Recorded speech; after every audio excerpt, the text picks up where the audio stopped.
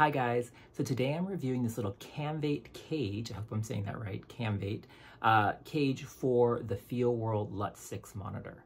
Uh, now, some people would say, you know, you don't need a cage. It just adds weight, adds size to your monitor. And I totally agree. I wish you could rock the LUT 6 monitor without a cage. My big issue with the LUT 6 monitor, even though this is not a review for the LUT 6 monitor, this is the reason why I got the cage for it, is the LUT 6 does not have uh, enough mounting points around it. Whereas when you get the cage, you can see that you have mounting points all the way around. You even have on the bottom, you can't really see down there, but there are locator holes for your uh, for your swivel mount to help keep the, the monitor obviously from swiveling back and forth like that. Uh, but my big issue, those other ones I could get around, but my big issue with the LUT 6 monitor is the build quality of it.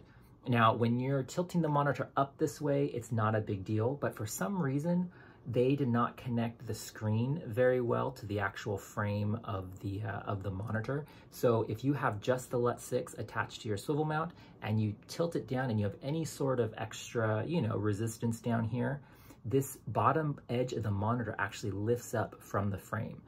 Totally do not want that to happen, especially when you're out and about. So that's why I went looking for a cage for it. So that way you don't have the mounting of the swivel mount directly to the monitor.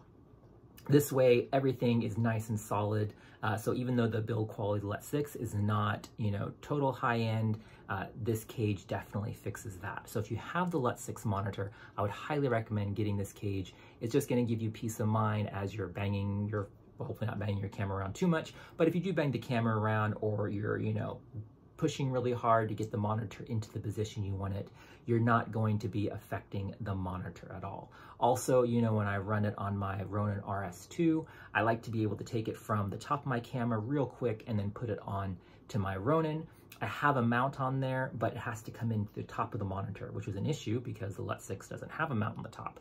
Now it does. Now, the only thing that I don't like about the LUT 6, and I'm not sure if you can see very well down here, is the offset of the mounting points for your, for your swivel mount. Because, let me take this off.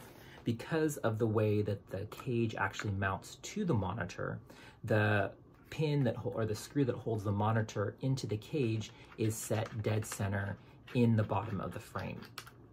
And you can see that right there. There's a screw that mounts the monitor or holds the monitor inside the cage. So when you mount your swivel mount, you either have to mount it below, above, or side to side. Now, if you do above, above or below, the monitor is going to be offset off your swivel mount, which not a huge deal, but it just doesn't look, you know, doesn't look square and gets a little annoying. So what I ended up doing is actually mounting it to the swivel mount to one of the edge on one of the sides of it. So it's mounted in the, you know, center line of the monitor, but it's just offset just a little bit.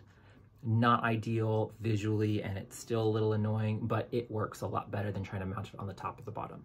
Other than that issue, this cage is solid. Obviously, it's nice, uh, nice aluminum, has some ARRI Rosette uh, locking locator pins, mounts right there on the top. So yeah, overall, I mean, gosh, the monitor is so cheap. Go out and spend 50 bucks on a cage and it just makes this monitor much more usable and yeah, just gives you peace of mind when you're out there using it.